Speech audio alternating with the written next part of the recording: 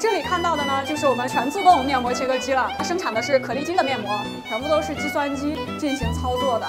像这样的一台机器呢，造价要在一千万以上。你们用过医用敷料吗？你知道医用敷料生产条件要求有多高吗？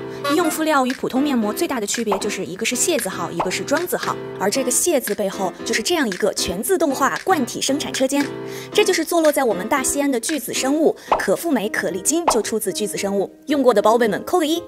巨子生物的护肤品还曾作为伴手礼送给各国政要。那今天就带大家探一下这个中国护肤品界的华为到底有多牛。我们今天呢，一共邀请了一百五十多个人啊，包括早鸟的体验官、体验官小分队，还有医美达人，以及全国各地的呃医美专家，还有医美机构的核心专家，都来到了我们这个地方啊。Hello，我是信仰达人沃克张。之前刚好看到有这个招募活动，正好我本人也在西安嘛，而且像可丽金，嗯，然后像这个巨子生物，我自己自己也是稍微有一些了解的，所以我就说可以来参观一下，感受一下我们大西安的企业。Hello，宝宝们好，我是信仰达人白小白，今天非常荣幸来到我们的西安巨子生物。那那今天对于我们这个探厂之旅，你有什么特别期待的环节吗？比如说，等一下我们要参观的工厂，今天会有一个 DIY 的一个环节，就是希望能够呃把更多更好的产品以及很多神秘的配方，包括能让我们们童年不老的这些配方，然后分享给大家。就是今天有很多的环节都非常的期待。嗯，如果你把这个配方搞到手，请发我一份。Hello，大家好，我是信仰达人小倩倩崔小倩 L I Z。那有没有特别期待的今天的环节？产品试用，嗯那个环节我是很期待的，因为我是对产品是一个很狂热执着的人，我非常喜欢这种有有修复功能的以及抗衰功能的这种呃产品，医美类的我是非常非常关注的。进入大厂后，探厂小分队十分期待的产品试用环节首先被安排啦。跟随着工作人员去产品展柜参观，现场的体验官们都被巨子生物琳琅满目的产品家族震撼到了。医用敷料和护肤品的诞生。产品展柜和产品试用只是开胃小菜，真正让关关感受到生物基因研究大厂气魄的是这个全自动化罐体生产车间。拥有四十余项发明专利的类人胶原蛋白科技项目，就是在这里被分离纯化的。除了开启科学护肤新纪元的类人胶原蛋白，这里全自动化的高标准卫生、安全检测的生产线，也让在场观摩的体验官们对自己使用的护肤品质量更加心安了。味儿怎么感觉跟我去青岛啤酒厂的那种味儿看着挺像？啤酒的话，它也是通过发酵制备的嘛，所以其实是差不多的罐是吧？嗯，像这个的是乳化罐，这是化妆品所特有的。我们一会儿可以看到发酵罐的话，可能很多厂区他们也会有。那我们的类人胶原蛋白就是在这样的罐体当中去发酵制备生产的，也全部都是全自动化的，全部都是计算机进行操作的。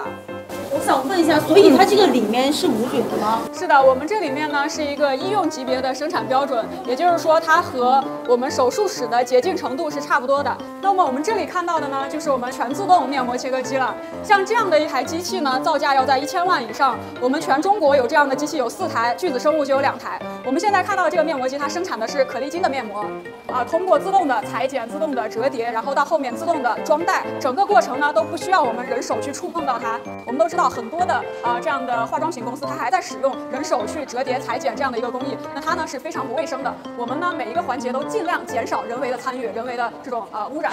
终于到了大家都很期待的环节——化妆品 DIY。难得探厂化妆品研发企业，我们也真实体验了以下基础膏霜的制作流程。为了安全起见，大部分的原料已经进行了加热，我们的体验官小分队只需要进行接下来的配置称量就好啦。比如像我们的车间，我们是可以完全的控制这个车间的这个洁净度。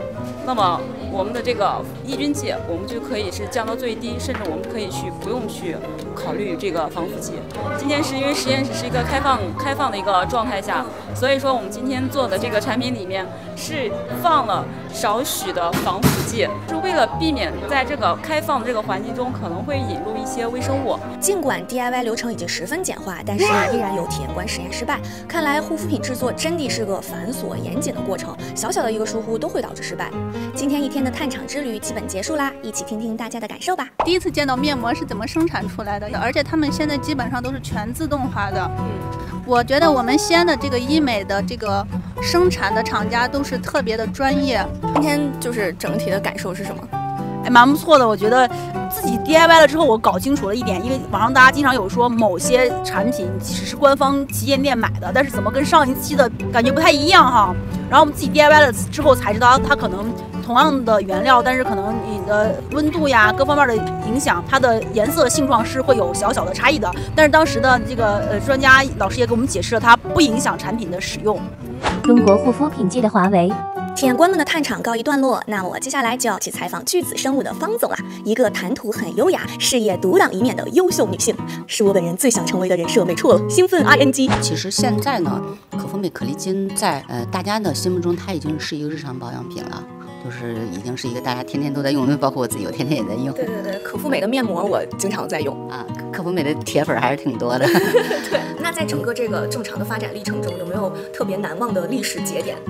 零八年的时候，我的可丽金在西京医院高主任的科室，我们做了一个灵官全系产品的一个灵官。然后做完之后呢，高主任给我说了一句话，让我记忆非常的深刻。他说：“你这个产品在我的皮肤科解决了很多以前我用只有用激素才能解决的问题。”他说：“你这个东西太好了，你放在我这儿卖吧。”啊，因为我当时还不知道医院可以卖护肤品这件事情，所以这我想呢是一个可丽金的前世今生吧。可丽金为什么会在医美？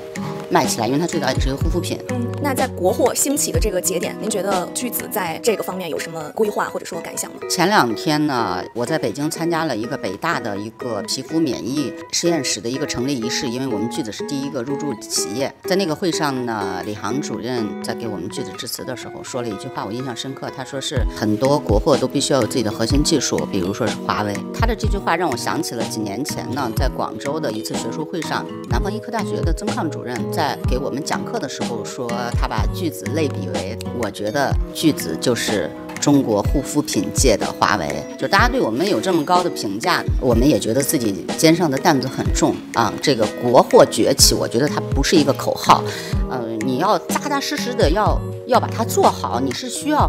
非常大的这种付出，在技术上，在研发上，所谓的这种国货崛起，绝不是说是，哎，我我我炒作一个品牌啊什么的这么简单的，而是你确实你的核心技术要能干过别人。我觉得国货兴起真的是一个好事儿，这说明了什么呢？说明我们的国家强大了。至少在护肤品这样的一个行业里面，句子的研发背景以及句子的技术，绝对撑得起国货新品牌的这样的一个称号。那您现在有没有做过咱们胶原蛋白的这个？我刚刚做完，来，大家可以看一下，打了一个颈纹，所以我才我才系了一个围巾。我基本上每半个月会做一次我自己的产品的微针或者是水光。任何一个产品诞生，我都是第一个去用的，因为我非常的信任我自己的产品。我的产品是怎么来的，怎么做的，用什么原料，我都很清楚。这都是我必须要知道的事情。羡慕，在这个公司应该不会老吧？嗯，其实人都会老，但是我觉得老的慢一点就好了，这就是我们呃的愿望了啊。那您对于跟新氧合作、跟体验官合作，您有什么样的想法吗？呃，我觉得新氧这个平台挺好的。其实呢，很多时候消费者呢跟呃产品之间呢，它的信息是不对等的啊，它需要有借助一个平台，因为绝大多数的消费者是不具备专业常识的。我觉得它就像一个桥梁一样，架在企业、产品和消费者中间。呃，我需要信仰这样的一个好的一个一个发布的一个平台，那信仰也需要找到一些好的一些产品，我就是那个。好的产品，我觉得非常完美。探寻国内巨头医美生物基因研究企业的行程结束啦。就像方总说的，国货崛起不只是一个口号，希望我们自己的国货品牌能通过更专业的研发技术、更领先的生产水平，实现真正的崛起。关关也会争取更多的国货产品给大家体验测评。乏了，吸溜一碗 biang biang 面，先走一步。下期继续我们的战颜探厂之旅，八八六。